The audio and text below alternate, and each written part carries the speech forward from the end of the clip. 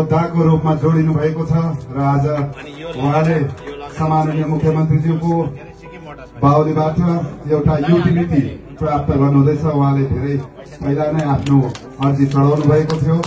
रामकुमार सार्की।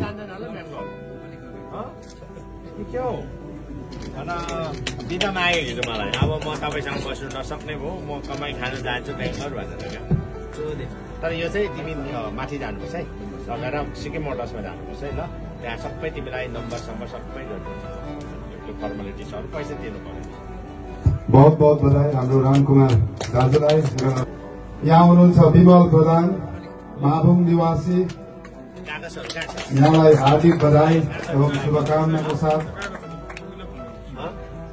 अहिले सामान्य मुख्यमन्त्रीज्यूको बाहुलीबाट चाबी हस्तान्तरण भइरहेको छ।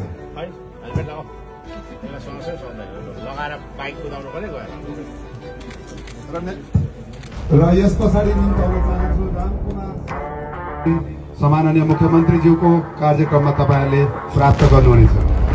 र यहाँ अहिले विमल प्रधानज्यूले